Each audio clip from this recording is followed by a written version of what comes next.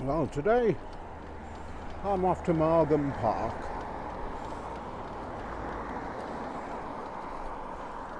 And it's not a nice day by any stretch of the imagination. I was having a little discussion this week with somebody about cycling technology.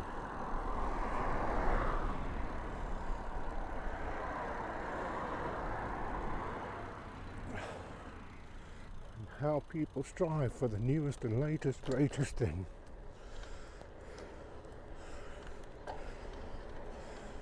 And I found that interesting, really, because in the main, British people don't embrace technology. On a Facebook group the other day, somebody was asking what the best sat nav system is. And of course, quite a few people said, get yourself a map. British people like manual gearboxes in their cars. And they don't trust things like cruise control or any of the other systems.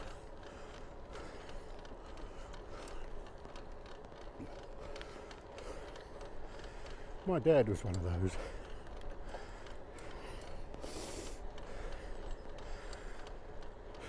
We invited them over for Sunday lunch one time. They turned up about an hour late. And my mother got out the car shaking her head and she pointed at my dad and she said, he left the lights on. So we had a flat battery. And they'd only just had a new car. And I looked at him and I said, How have you left the lights on? You've got automatic headlights. And he said, I don't trust them. Switched it off. Said, Why don't you trust them? And he said, It's a silver car. And when the sky is grey, you won't be able to see it. So I switch the headlights on when I want to. I said, yeah, because these automotive engineers who've been to university for five years and got 20 years experience in their field, they never considered that a car might be silver. They're all sitting around with slide rules and pencils going, oh no, our system has been fooled because the car was silver. If only we'd asked Bob, he would have put us right. I'm the opposite. I love technology. My car's got automatic adaptive cruise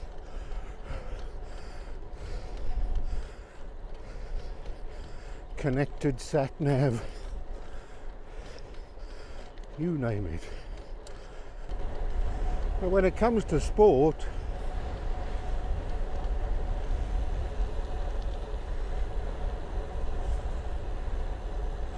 there's what's known as the wannabe syndrome. And that's the people who want to look like they're really serious sportsmen because they don't think they'll be taken seriously otherwise. I mean, I'm talking about leisure sport.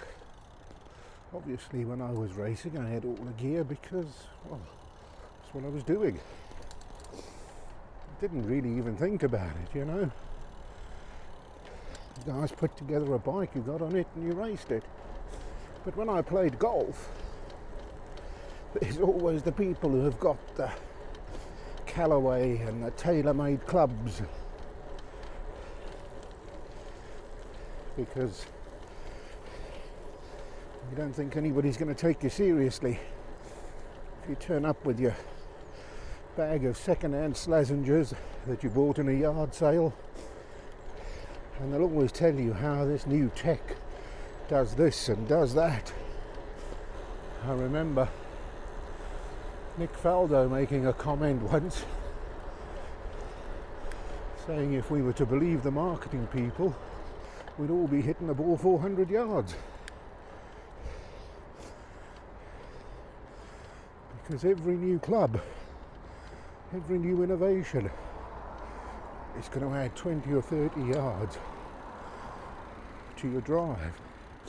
And he said if that was all added up,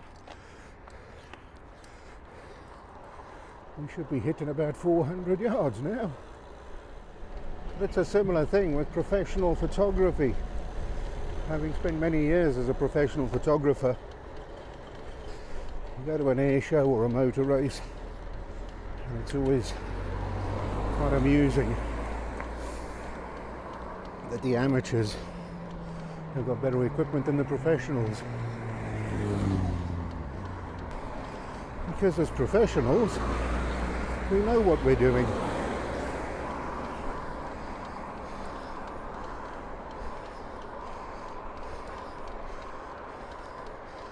We don't need to show off.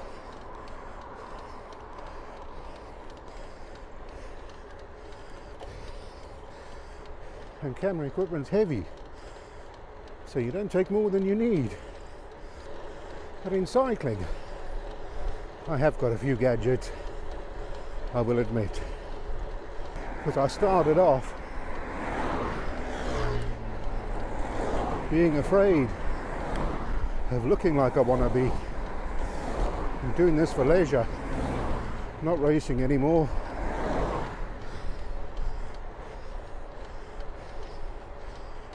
So I went out in shorts and a t-shirt and it only took two rides for me to remember why we wore padded shorts.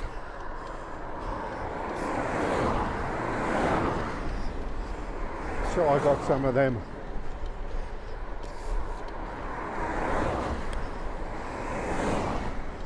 I wanted to track my progress. So I got a computer.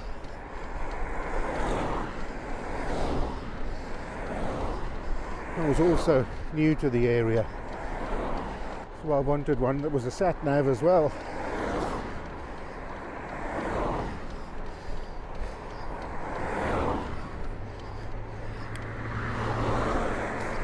And I have to say, when I was racing, I would have loved to have had one of them.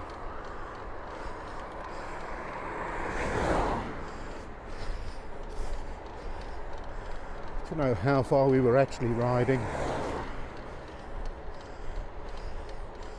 rather than a guess.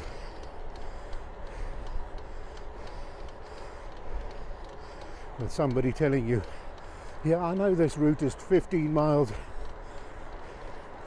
because my brother's friend went round here in his car. Hardly scientific. It's also nice to know whether your average speed is increasing.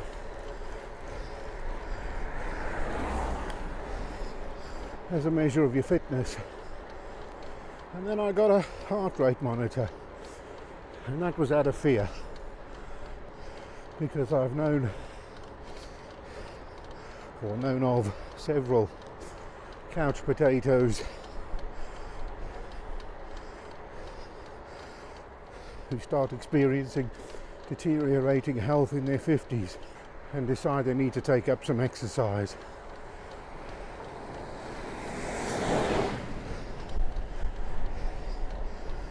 so they push themselves too hard and some of them drop dead. So I decided a heart rate monitor was a good thing to know how hard I'm pushing myself, which I do have a tendency to do. So I'm not opposed to technology in its place. What you do find though quite often in the technology field is a lot of these things are just a solution looking for a problem. There's no technology to make you a better hill climber. And I also got a cadence sensor.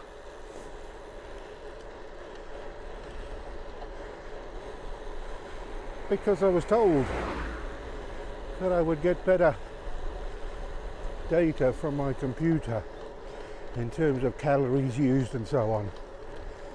I will say I'm not without a gadget or two myself. But you see, all that technology is monitoring me. And I've had things monitoring me for a long time. Well, I've even got a watch. Tells me how long I should be washing my hands for. But it's the technology on the bike that I'm less sure of. Carbon wheels, Di2 electric gear shifting, all of these kind of things.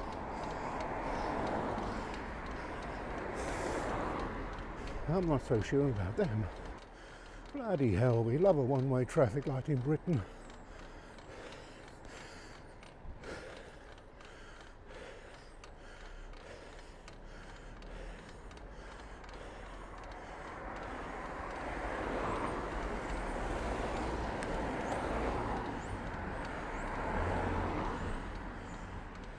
I'm not saying all technology is bad.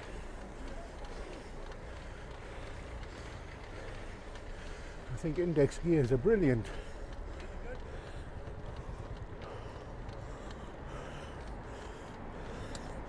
Through axles, those kind of things are really good. See, when I raced, all bikes were the same. You could walk around at the track looking at them. And they'd have different names and different colours. But all the bikes, virtually all the bikes, steel frame, Reynolds 531, Cinelli bar and stem, Campag hubs, Mavic rims, and a tubular tyre glued onto it. And it didn't matter. Even which brand of tubular tyre you used. Because there was nothing in it and for the road races. The picture was very similar. There was no such thing as a group set. I ran a Campag chain set Dura Ace Mix and all the frames and wheels were the same. But when I started the race, it was me and my competitor against each other. There was nothing on the bike that would give either of us an advantage. Not just that, there's a purity to cycling. The bicycle is one of man's greatest inventions because with a few mechanical components using the same power as you would for walking or running, you can go so much further and so much faster. And that's the purity I like. A number of my colleagues have asked me if I'm going to get an e-bike.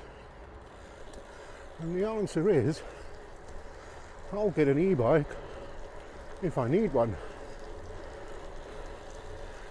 If I can cycle unassisted, then I'll carry on doing it. But if I can't, well, I'd rather ride an e-bike than not ride at all.